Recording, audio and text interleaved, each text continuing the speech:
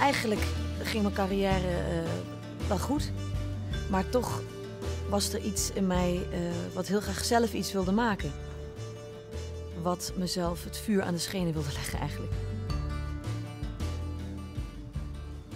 Ik wilde heel graag een eigen album gaan opnemen. Dus ik heb mijn comfortzone een beetje verlaten. Dus mijn acteren.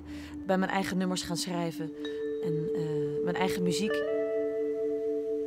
Je hebt niks om je aan vast te houden. Je hebt niks om je achter te verschuilen. Of je... Ja, ik voelde me een soort van naakt bungelen in het soort luchtledige. Ja, wat heel eng is, maar tegelijkertijd is dat ook te gek. Omdat je voelt van er gaat iets gebeuren.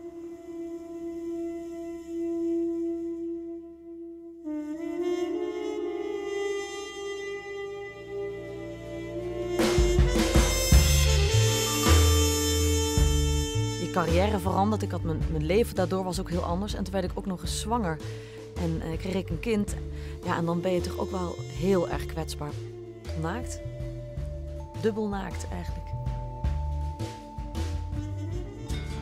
Moeder zijn maakt je ook heel sterk, omdat dat is waar het leven over gaat. Je staat heel erg dicht bij de natuur, heel erg dicht bij jezelf. En je voelt een soort oerkracht. En, en, en ook een, een zegening. Ik heb het gevoel dat ik door de keuzes die ik heb gemaakt, dat ik heel erg ben beloond door het leven. Ja, zo voelt het heel erg.